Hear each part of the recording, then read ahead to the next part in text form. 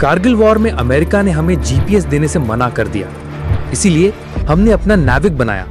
लेकिन अब एक और सरप्राइज़ ने हमें हिला दिया है।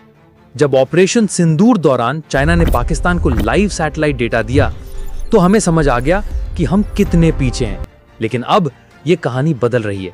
India has new weapon, a fleet of 52 killer satellites. क्या ये इंडिया का फाइनल बॉस मोमेंट है? नमस्कार दोस्तों। और स्वागत है आपका मिशन नभ नेत्र में। दोस्तों, आज हम बात करेंगे उस मिशन की जो भारत की डिफेंस को स्काई से सिक्योर कर रहा है। हम बात कर रहे हैं एक ऐसे मैसिव प्रोग्राम की, जिसके बाद इंडियन मिलिट्री की आँखें और कान 24/7 स्पेस में होंगे। ये कोई साइंस फिक्शन नहीं, बल्कि एक स्ट्रेटेजिक मास्टर स्ट्रोक है। The goal is clear by 2029 Bharat के पास होंगे 52 न्यू डिफेंस सैटेलाइट्स। ये 52 सैटेलाइट्स हमारे एग्जिस्टिंग फ्लीट में ऐड होकर एक ऐसी पावरफुल नेत्र बनाएँगे जो हमारी बॉर्डर्स हमारे समुद्र और हमारे एसेट्स पर हर सेकंड नज़र रखेगा। तो सबसे पहले सवाल यह है, इस मिशन की इतनी अर्जेंसी क्यों है? The answer lies in two major realities first हमारे पास अभी कितने सैटेलाइट्स हैं? Currently India has around 54 operational satellites इनमें से कुछ मिलिट्री ग्रेड हैं, जैसे कार्टोसाइट सीरीज़ जो अर्थ ऑब्जर्वेशन के लिए डिज़ाइन की गई थी और राइसैट सीरीज़ जो रेडार इमेजिंग कैपेबिलिटीज देती हैं। इन्होंने पहले सिविलियन डेवलपमेंटल नीड्स और ग्रेजुअली मिलिट्री एप्लीकेशंस को भी सर्व करना शुरू कर दिया।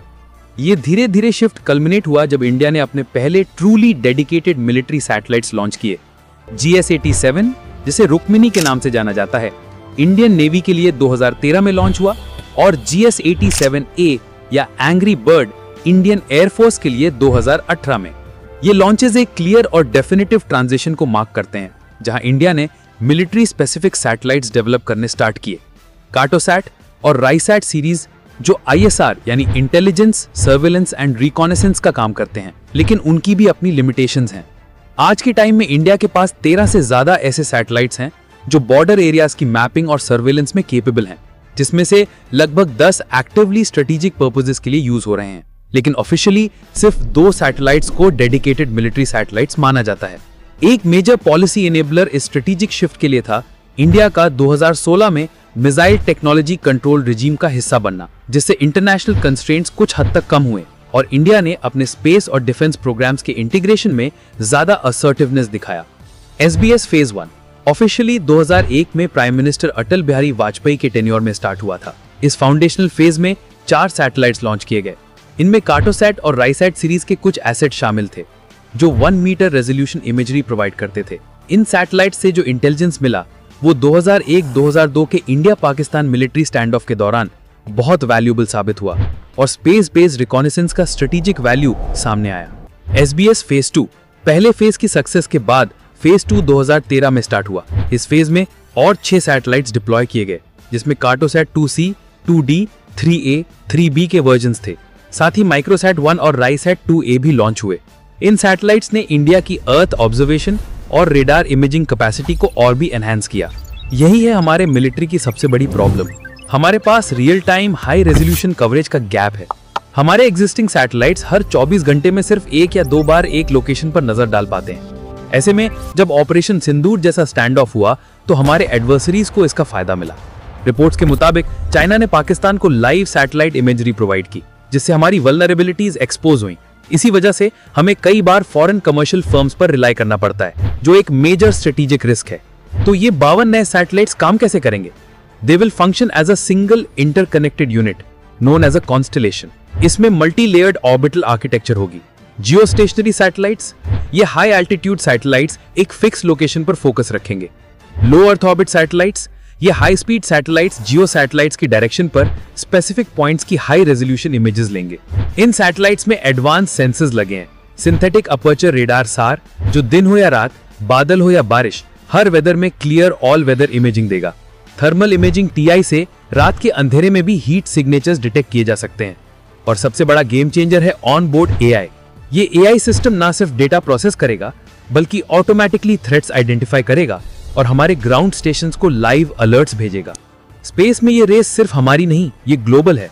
जब हम इंडिया के 54 सैटेलाइट्स की बात करते हैं तो यूएस और चाइना कहाँ खड़े हैं? चाइना के पास इस वक्त 1000 से ज़्यादा सैटेलाइट्स हैं, जिसमें से 360 से ज़्यादा सिर्फ़ मिलिट्री आईएसआर के लिए हैं। उनका एम है एक किल मैश क्रिएट करना, जिससे हमारे सैटेलाइट्स को जैम या डिस्ट्रॉय किया जा सके।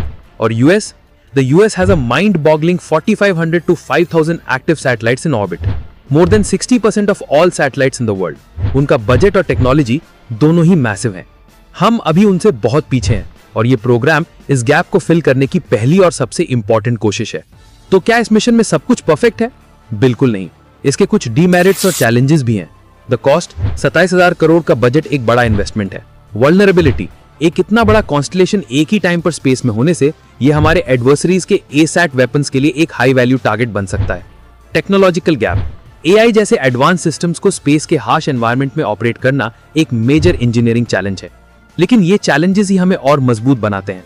This program is our commitment to strategic autonomy and self reliance अब हमारा गोल सिर्फ़ बॉर्डर पर नज़र रखना नहीं, बल्कि स्पेस डोमेन को सिक्योर करना है। दोस्तों, हमने बात की मिशन नव नेत्र की, जिससे हम स्पेस में सर्वेलेंस करेंगे। लेकिन अगर दुश्मन ने हमारे सैटेलाइट्स पर ही हमला कर दिया तो उन्हें कौन बचाएगा? अगले वीडियो में हम जानने वाले हैं इंडिया के एंटी सैटेलाइट वेपन्स के बारे में। कैसे इंडिया अपने सैटेलाइट्स को बचाने के लिए डायरेक्टेड एनर्जी वेपन्स लेजर्स और ईएमपी e जैसे हाईटेक हथियार डेवलप कर रहा है। तो दोस्तों, ये था मिशन नभ नेत्र का पूरा एनालिसिस हमने जाना कि इंडिया का स्पेस प्रोग्राम कितनी तेज़ी से आगे बढ़ रहा है। अब आप बताइए, क्या आपको लगता है कि इस मिशन से इंडिया ट्रूली एक ग्लोबल स्पेस पावर बन पाएगा? हमें नीचे कमेंट्स में अपने विचार ज़रूर बताएँ। अगर आपको ये वीडियो पसंद आया हो और आप ऐसे ही डिफेंस एंड टेक एनालिसिस देखना चाहते हैं तो लाइक बटन दबाना ना भूलें और चैनल को सब्सक्राइब करें। आगे भी हम आपके लिए ऐसे ही इन्फॉर्मेटिव वीडियोस लाते रहेंगे। जय हिंद।